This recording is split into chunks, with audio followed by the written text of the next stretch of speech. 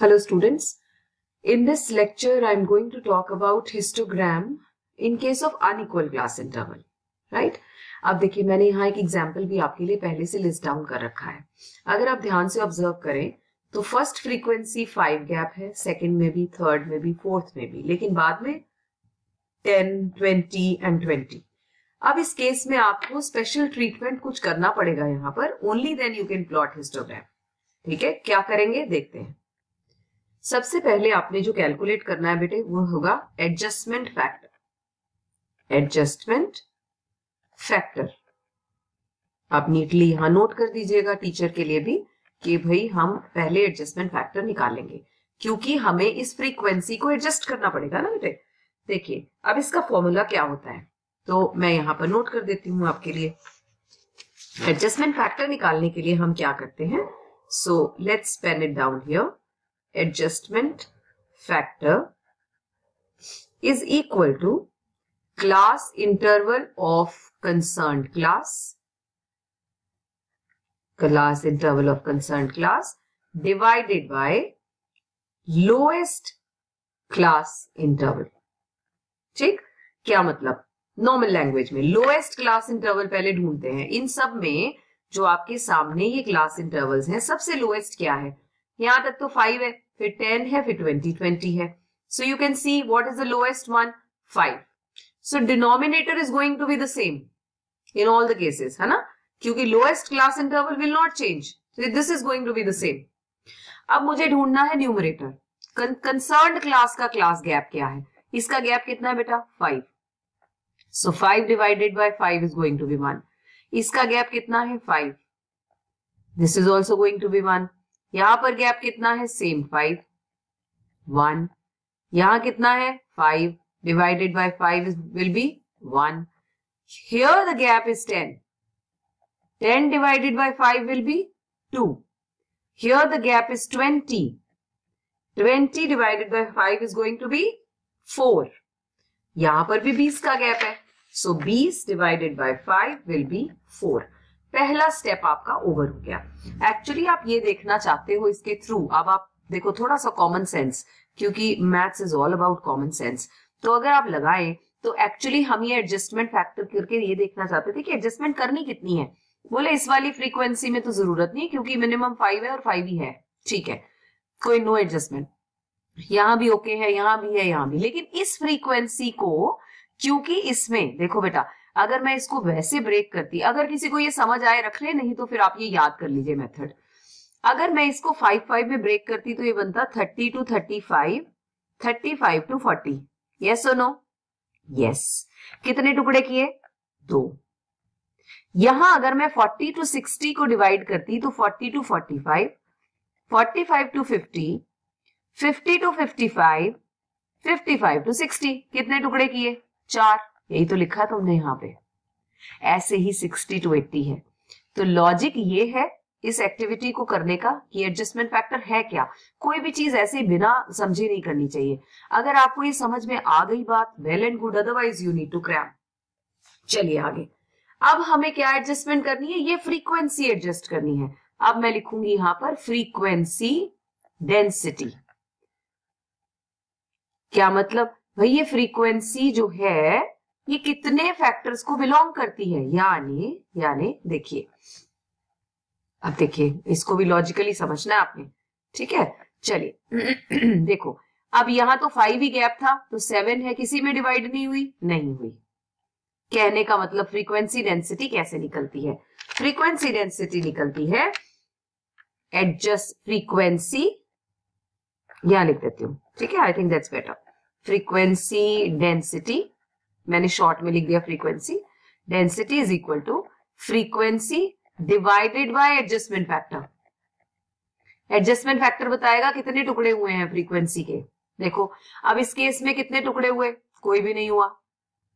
One divided by one so seven ओहो I am so sorry seven frequency divided by adjustment factor seven divided by one remains the same same यहाँ पर भी five था ना gap 10 divided by 1 remains the same, 10. 27 remains the same because it is divided with 1 as same.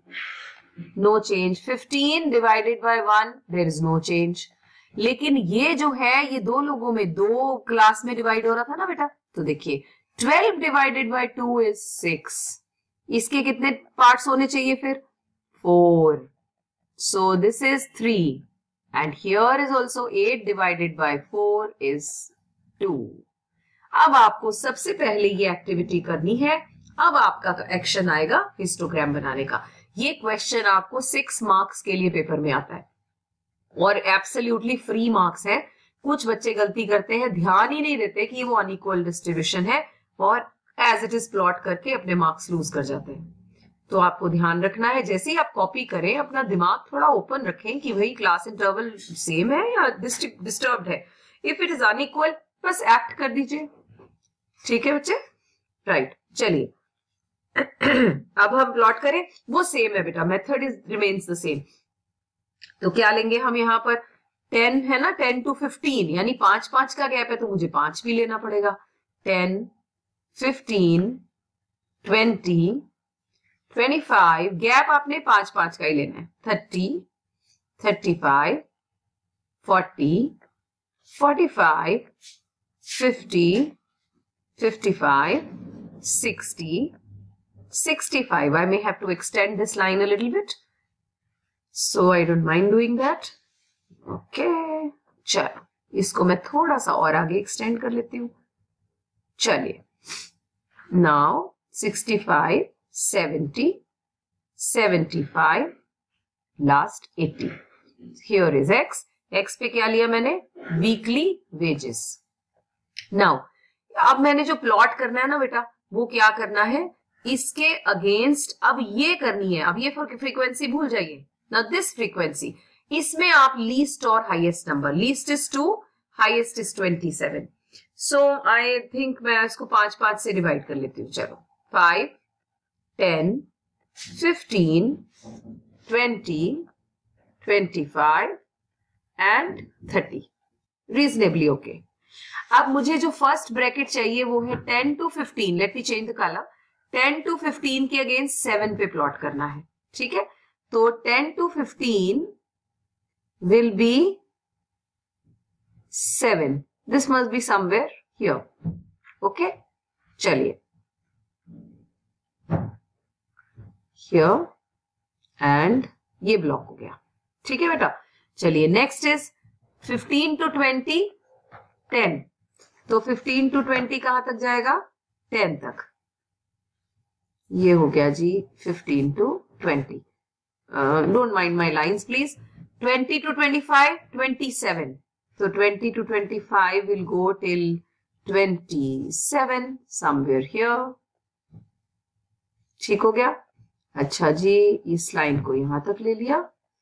And इस line को, अरे sorry sorry sorry हाँ this line has to be till here हो गया? अब देखिए 25 टू 30 15 यहाँ तक तो बिल्कुल सेम हिस्टोग्राम ही बन रहा है। इसमें कोई डिफरेंस नहीं आया।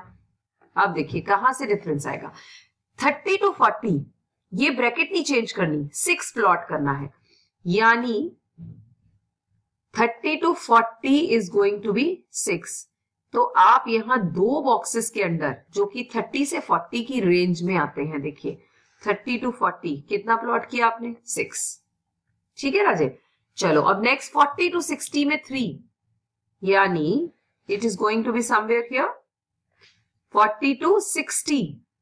Can you see that तो बॉक्स का जो साइज़ है, वो हो सकता है कि वो बड़ा हो जाए but that's okay range number आपको ये प्लॉट करने sixty to eighty is two तो sixty to eighty is going to be two ये हो गया लास्ट वर्क इसके बाद आप इसके ऊपर नंबर लिख दीजिए। This is four two this is three this is six fifteen twenty seven to make your graph more attractive. So this is what histogram in the case of unequal class interval.